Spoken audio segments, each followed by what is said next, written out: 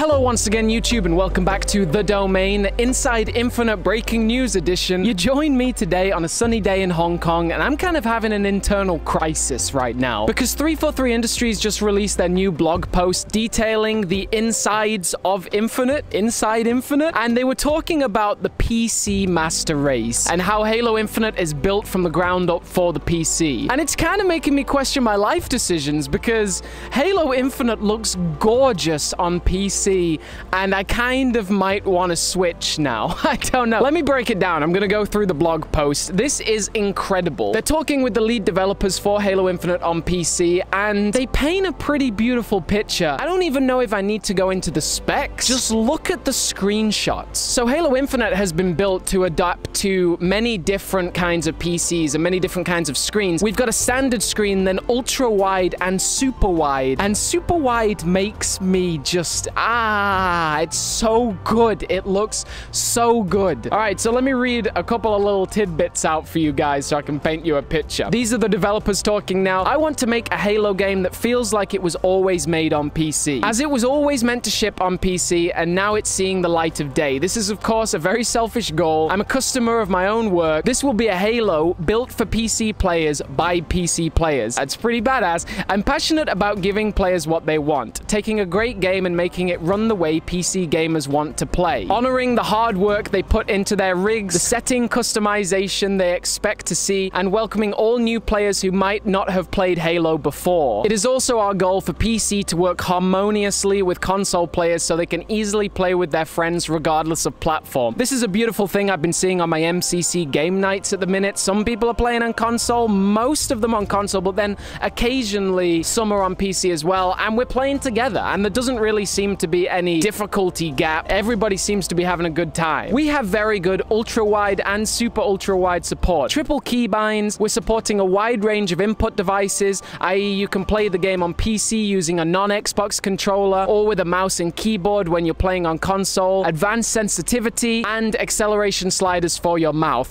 Yep, and ex for your mouth, and acceleration sliders for your mouse. Oh boy, there's dozens of people across the studio that have had to put dedicated effort into supporting something like ultra-wide, and I'm very excited to say I think we'll have some of the best ultra-wide support I've ever seen for a game. We literally wanted to get people excited about the potential of that experience. We got a bunch of ultra-wide monitors and gave them to the team for their dev machines so they'd work and test them daily. I mean, have you... Just look at this thing.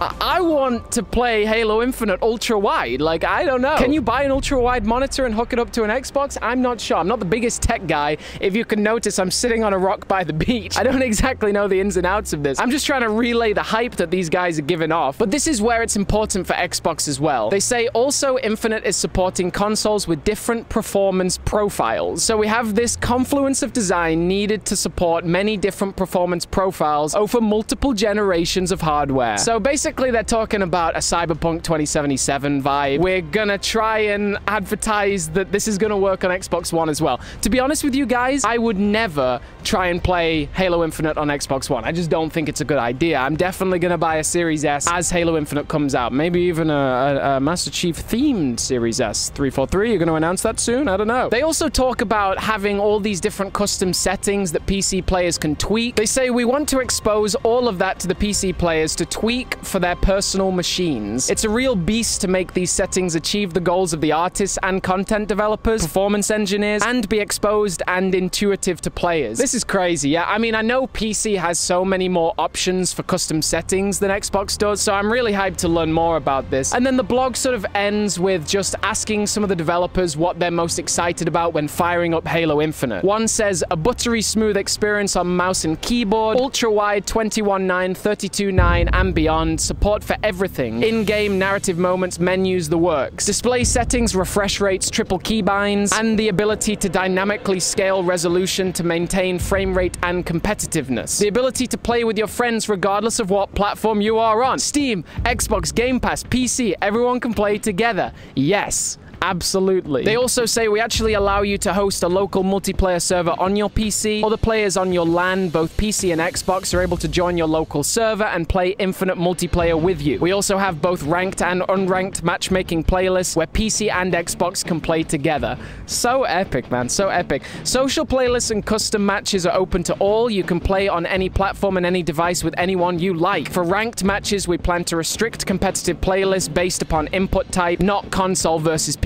Kind of makes sense because I've heard that PC response time is a lot quicker. We also want to ensure nobody feels like they're at a significant disadvantage because of the way they're playing. If we do our job right in combination with our TrueSkill 2 ranking system, everyone should be able to trust they're getting a fair shake in the crossplay ecosystem. Oh man, I have so much promise for Halo Infinite. Honestly, uh, my my my pro like my worries have slipped away. When the Halo Infinite campaign trailer came out, I was very happy, and now it's just getting better and better and better. I'm so excited. Look at these screenshots, man. These screenshots are gorgeous, gorgeous. And as if that wasn't enough, in one of the ultra wide screenshots with a brute jackal, you can see Viktor the Grunt, our boy Viktor. You can see Viktor running away from the camera. He doesn't have any weapons on his back, so maybe the brute took them off. But that ultra-wide display, man, it, the campaign just looks gorgeous. Absolutely gorgeous. That's all for today, folks. Every time one of these Infinite articles comes out, I'm just reminded how much these guys can't talk about the game. It must kill you to be developing this game for like five years and not be able to talk about it. So shout out once again to 343 devs. I think you're all doing a great job. 343 deserves far more praise at this point. I think they're going to earn back all the trust. There'll always be some, but most people, I think, will start to trust 343 again once Halo Infinite launches. This has been another Inside Infinite scoop with the domain. Please make sure to check out yesterday's video where I detailed the brand new Chopper. Chopper takedown for Mega Construx. It has Escharum, Escharum, that big goatee bearded brutey boy, and it looks like an amazing set, so check out that video. As always, stay awesome out there, stay safe. The domain is signing off.